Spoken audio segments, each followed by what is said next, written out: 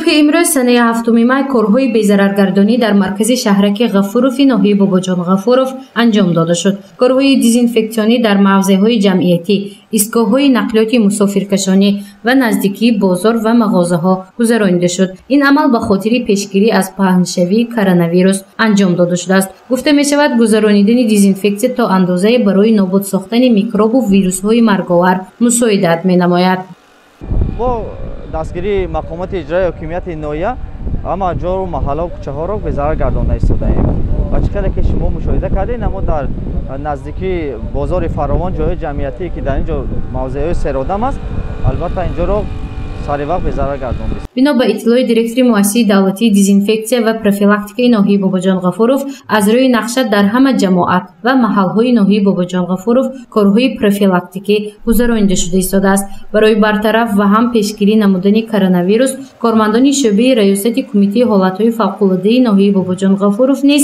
саҳмгузор мебошанд зеро кормандони ин ниҳод дар ҳамҷоягӣ бо муассисаи давлатии дезинфексия ва профилактика пурра барои пошидани моеи гипохлорид натри саҳмгузор ҳастанд.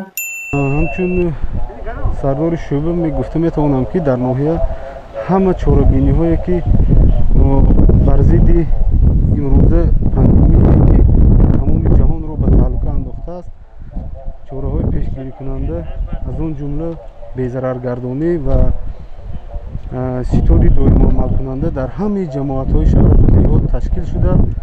Корҳо бо мурур ба идома дода шуда истодааст безарар намудани мавзеъҳои ҷамъиятӣ чанд вақт аст ки дар тамоми минтақаҳои ҳудуди вилояти суғд ҷараён мегирад. Акнун бошад ба дезинфексияи маҳалҳо шурӯъ намуданд. Барои кӯмак ба ниҳодҳои давлатӣ кормандони хадамоти оташнишонии вилоят дар шаҳру ноҳияҳо низ пайвастанд.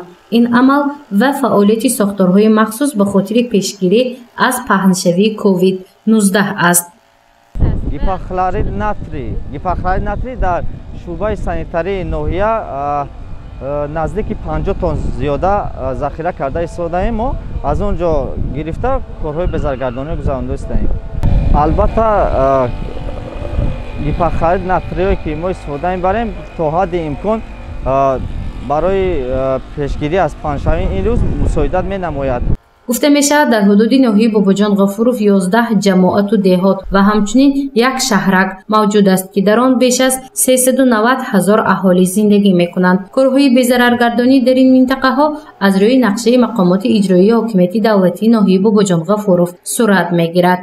Гузориши мафтуншукур ва насим раҳимов барои барномаи иттилоотии хабар